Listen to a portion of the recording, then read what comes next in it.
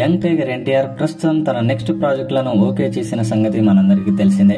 తారక్ ముప్పై చిత్రాన్ని star director అయిన కొరటాల శివ దర్శకత్వంలో తెరకెక్కించేందుకు రెడీ అవుతున్నారు.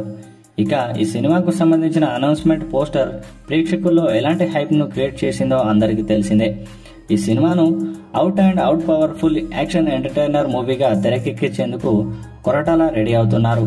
అయితే ఈ సినిమా రెగ్యులర్ షూటింగ్ను జులైలోనే స్టార్ట్ చేయాల్సి ఉన్నా తారక్ మరోసారి తన ఫిజిక్ను మార్చే పనిలో ఉండడంతో ఈ సినిమా షూటింగ్ను ఆగస్టులో ప్రారంభించాలని చిత్ర యూనిట్ ఫిక్స్ అయింది.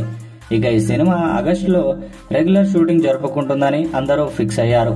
కానీ ఇప్పుడు అది కుదిరేలా లేదట. ఈ సినిమా రెగ్యులర్ షూటింగ్ మరింత లేట్ అవుతుందని చిత్రవర్గాల్లో టాక్ వినిపిస్తోంది. ఈ సినిమాకు సంబంధించిన స్క్రిప్ట్ ఫైనల్ డ్రాఫ్ట్ను ఇంకా లాక్ చేయాల్సి ఉండడంతో ఈ సినిమా రెగ్యులర్ షూటింగ్కు మరింత సమయం పడుతుందని చిత్రవర్గాలు అంటున్నాయి.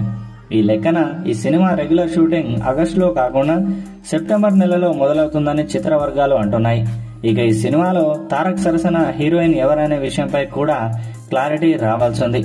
అదేవిధంగా ఎన్టీఆర్ ఫస్ట్ లుక్ పోస్టర్ను రిలీజ్ చేసింది చిత్ర యూనిట్. ఇందులో ఎన్టీఆర్ ఒక జీప్ పై కూర్చొని మాస్ లుక్లో కనిపిస్తున్నాడు. ఇటువంటి ఎన్టీఆర్ గారి అప్డేట్స్ని డైలీ పొందడానికి ఛానల్ని సబ్స్క్రైబ్ చేసుకోండి. పక్కనే ఉన్న బెల్ ఐకాన్ని యాక్టివేట్ చేసుకోండి.